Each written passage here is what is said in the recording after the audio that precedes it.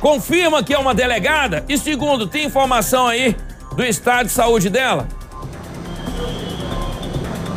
A gente confirma sim, viu, Fred? Estamos falando da delegada Denise Pereira da Rocha. Ela está à frente da delegacia ali da Corregedoria da Polícia Civil do Distrito Federal. Ela trabalha ali naquele prédio do DPE, Departamento de Polícia Especializada, que fica no Sudoeste, viu, Fred? Então a gente confirma sim que é uma delegada da Polícia Civil do Distrito Federal. Ela foi trazida pelo Corpo de Bombeiros aqui para o Hospital de Base. Ela está ali, ó, internada no centro de trauma. E quando a gente chegou chegou, Fred, tinha alguns colegas ali de trabalho dela, eles ali é, chorando, realmente muito preocupados com o estado de saúde dela, e eles confirmaram pra gente que ela está em estado grave. Aquela foto que a gente vê, aquela imagem do, da, do carro dela, né, daquela viatura descaracterizada, que está ali todo ali, né, arrancado ali na frente, a parte realmente da frente do carro. Os colegas confirmaram pra gente que os bombeiros precisaram retirar toda aquela parte da frente do veículo para conseguir retirar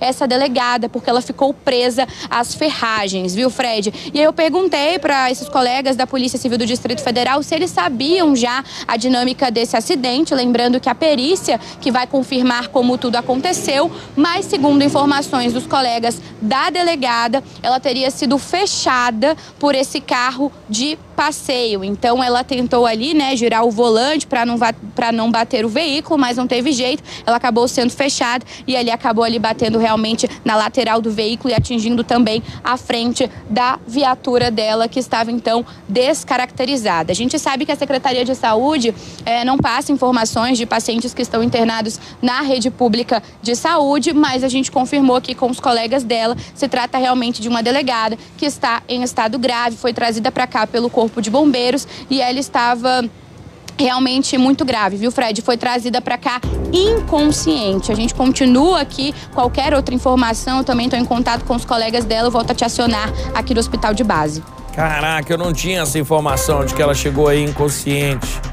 Ela saia dessa, viu? Ela saia dessa. Jéssica, prioridade, tá bom? Sua aqui, você me chama a qualquer momento aí que se tiver informação como que tá a saúde dessa delegada, tá bom?